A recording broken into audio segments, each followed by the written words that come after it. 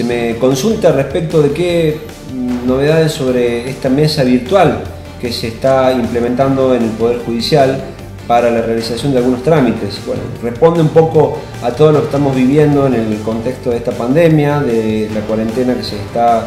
eh, llevando a cabo y el Servicio de Justicia también tiene que de alguna manera empezar a dar algunos pasos para implementar herramientas que permitan poner en funcionamiento nuevamente el sistema.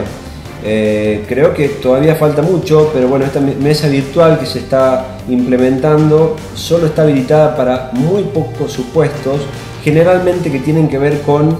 em, poder sacar eh, dinero que está depositado o embargado, trámites donde no requiere de demasiada resolución por parte de la autoridad judicial, eh, tales como por ejemplo conceptos de cuotas alimentarias o algunas indemnizaciones laborales o en el marco de algunos acuerdos civiles. Pero no hay mucho más todavía. Eh, hasta el día de hoy se habilitó para el pedido de feria extraordinaria, es decir, que se sigue reduciendo aún más la, tramitación de, las causas estas habilitadas de manera extraordinaria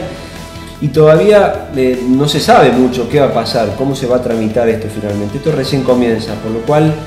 no podemos decir que se esté eh, volviendo nuevamente con la actividad eh, jurisdiccional, sino que se está intentando de ver de qué manera eh, se pueden realizar algunos trámites. queda mucho y creo que hay una tarea bastante importante de la cual todavía no se observa, por lo menos por lo que se informa, que mucha, mucha perspectiva o, cuestiones concretas por parte del Poder Judicial para implementar algún sistema, por ejemplo, como el que